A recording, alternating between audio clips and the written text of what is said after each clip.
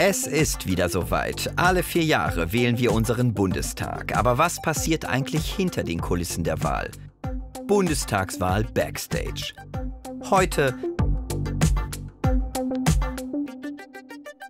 Mit welchen Strategien stemmt so eine Partei eigentlich einen Wahlkampf? Das verrät uns jetzt die Partei Die Grünen. Ein Haus, eine Wahlkampfzentrale. Die Bundesgeschäftsstelle der Grünen in Berlin. Cem Erdal managt hier den Online-Wahlkampf im Kampagnenteam. In der Kampagne setzt man immer auf ganz viele unterschiedliche Sachen. Ne? Als erstes ist natürlich das Fundament irgendwie die Inhalte, klar. Aber ähm, dann muss man das übersetzen in klassische Plakate, irgendwelche Aktionen auf der Straße, Wahlkampfstände, ähm, die Touren mit den Spitzenkandidaten, aber auch ganz, ganz viel Online-Kommunikation. Also wir setzen einen großen Schwerpunkt drauf. Und so sieht der Wahlkampf in Grün aus. So, hier sind wir jetzt äh, in unserem Herzstück hier ist Online und Offline zusammen, von der Produktion über die Plakate bis zum Social Media Team. Sitzen hier alle zusammen, wir wuseln zusammen. Rund 85 Mitarbeiter sind im Hause damit beschäftigt, die Rezeptur des Wahlkampfs auszutüfteln, zu produzieren, zu organisieren und natürlich möglichst öffentlichkeitswirksam den Wählern zu servieren, etwa in Form von Plakaten, Flyern oder Fernsehspots.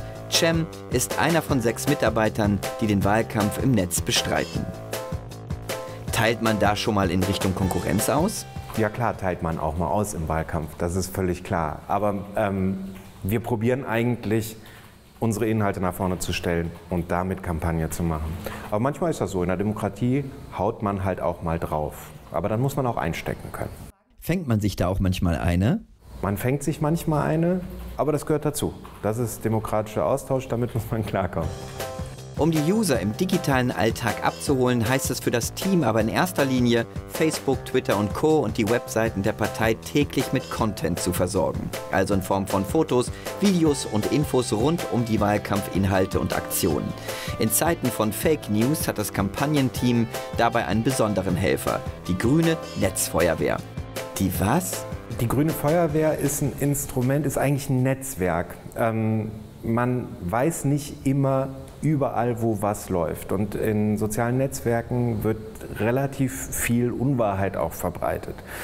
Und um zu erkennen, was Fake News sind und da auch tatsächlich einzuschreiten, haben wir ganz viele Leute, die uns Nachrichten schreiben. Guck mal, hier ist, hier ist eine Lüge und die geistert durchs Netz. Können wir da irgendwie reagieren? Und das ist im Wahlkampf besonders wichtig, weil ähm, da sehr viel Aufmerksamkeit auf Politik ist, auch bei Leuten, die sonst mit Politik nichts am Hut haben. Und ähm, die sind dann empfänglich für solche Informationen. Und wenn die nicht stimmen, dann wollen wir zumindest dem widersprochen haben. Nicht nur im Netz, sondern auch in der analogen Welt heißt Wahlkampf eine Menge Plackerei und manchmal sogar Training. Das sehen wir uns aber fürs nächste Mal auf. Bis dann.